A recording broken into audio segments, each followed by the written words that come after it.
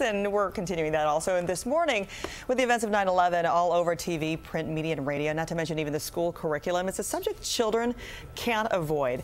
Our Lionel, the news decoder, joins us this morning to talk about the effects of children on viewing the September 11th coverage. So, Lionel, it's really all about from Lionel tonight on the Pix 11 News at 10. And of course, you can follow him on Twitter at Lionel Media. It's 821 on this morning. We'll be right back. It's 8.09 and closing arguments are set for today in the Barbara Sheehan murder trial. Prosecutors say about this trial with more on what we can expect today in the Barbara Sheehan trial. Our Pix 11's Kristen Cole and our focus on just, yes. you know, the timeline that she was perusing through these websites before, travel websites, celebrity websites, uh, looking over her son's religion paper, paper too. Right. Did so she it's have getting down, you get down to, you know, minute by minute. So second by second. Right. Watch closely, bring it to yes. us on uh, to an end. 814 now, and let's check in with Linda Church and our weather. More emotionally uh, riveting testimony here is today Thursday, the third week in a trial for a woman who claims she was abused for decades by her husband. She killed the former detective because she says he was about to kill her. And if you haven't been following this case, it is really a fascinating one. And here's a look now at what's happened so far. And for more on the case, Lionel, the decoder, is here with his take. And if you weren't aware, he knows a thing or two about the law from his years as a prosecutor. And Lionel, you kind of said it more the Sheehan trial in our 5 o'clock newscast again. A team of reporters there covering this and also the very latest on the news at 10. Don't forget, you can follow Lionel on Twitter at Lionel Media for his perspective. It is now 8.13. Sukanya? You heard it from Lionel. Sukanya, thank you. It is 8.31. You know the effects of the Israel-Iran conflict are being held and being felt right here in New York with police now guarding Temple Emanu-El on Fifth and developing weapons. Lionel, the news decoder, joins us now to break down the situation. There's that, that threat may be there. And how are we going to get involved? Is the United States going to get involved past economic sanctions, past diplomacy, in saying, okay, you know what, right. there's going to be military strikes? Uh, thank you. Thank um, you. For more from Lionel, tune into the Pix 11 News right here at 5 and 10 on Pix 11. You can also follow him on Twitter. His handle is at Lionel Media. It is now 8.34. Sukanya? All right, come. All right, Linda, thank you. It's 813. The Occupy Wall Street movement is not only capturing attention here in New York, it's gone global. However, how important are these protests actually? Lionel, the news decoder is here with uh, it is Monday morning, 8:14. You know who joins us around this time? Lionel, the news decoder, to talk about all the stories out there making buzz.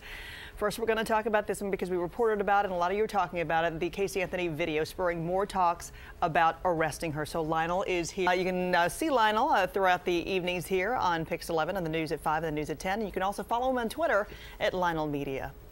It is now 8:17. Sukanya, it's 8:08, and we're going to get really cerebral today. Not that we don't always uh, do it when when he joins us, but did you know that December 15th was Bill of Rights Day? And our news decoder Lionel says the Constitution and the Bill of Rights are the best kept secrets today. He's about this radicalization of problem. constitutionalists. That's I had no idea who came called existence apps. Making that green As matter do you, work. Frances. As do you. Thank you. Pix 11 morning news and also Pix News at 5 for more of Lionel's commentary. Lionel, thank you, Thank as always. you. Sukanya? All right, we're Thank you. All right. Uh, you know that the mind of Lionel, our news decoder, is always churning. So he's joining us uh, on this Monday morning with the topic of police and excessive violence. Come again recently, you know, video being mocked.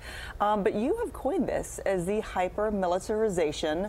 These days, everybody has a cell phone. Everybody No. capturing that Thank image. God we- Conversation with Lionel on Twitter at Lionel Media. You can also catch him later today on the news at 5 and the news at 10.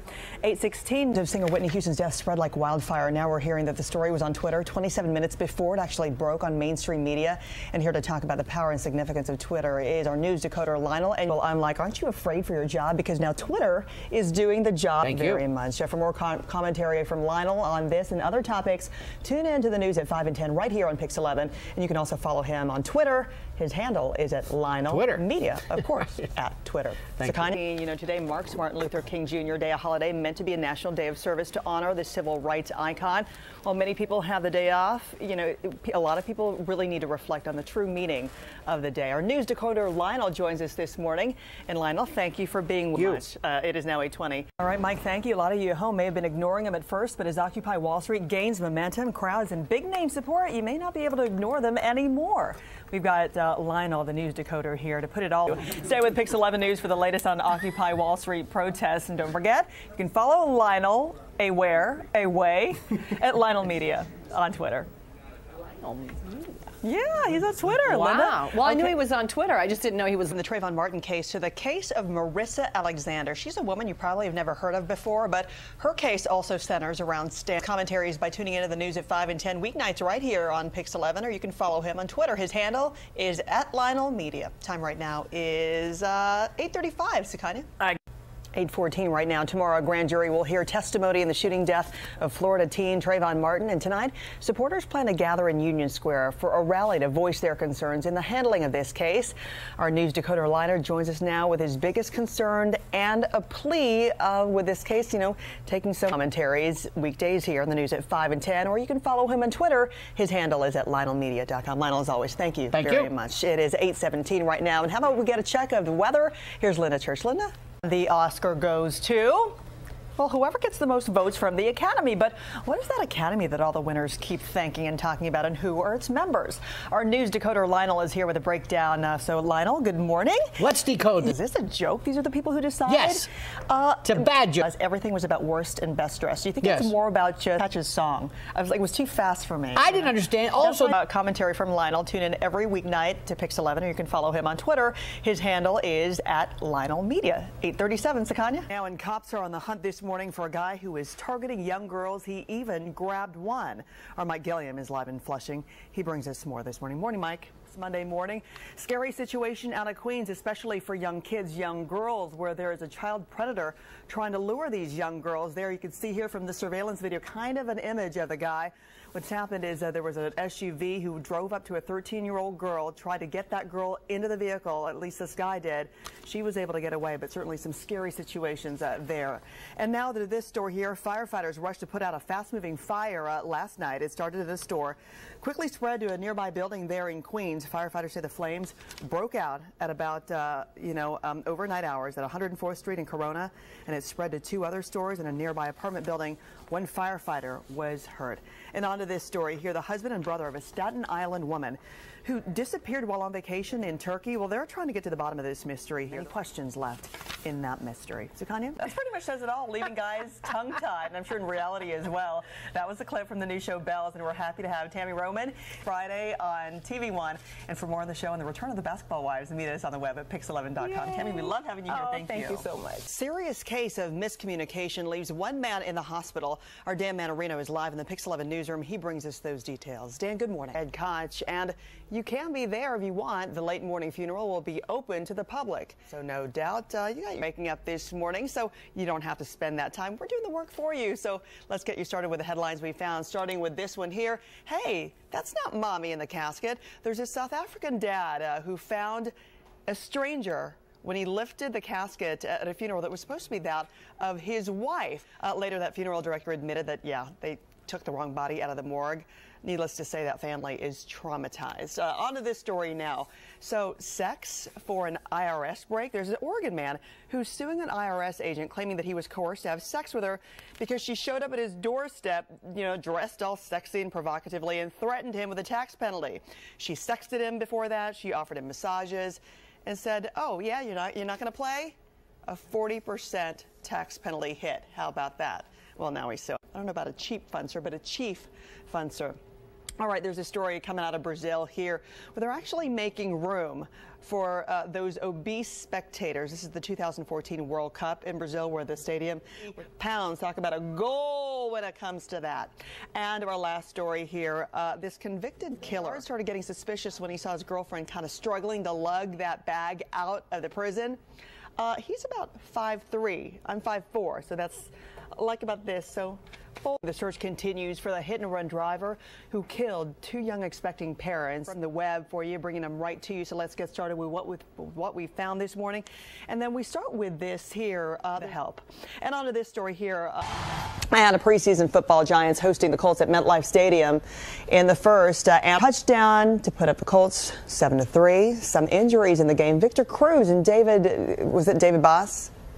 John, David Baas? David Baas. David Baas. David yes. Baas. Uh-huh. Uh, they both left the game. Cruz with a bruised heel. Baas suffered a sprained left uh, MCL.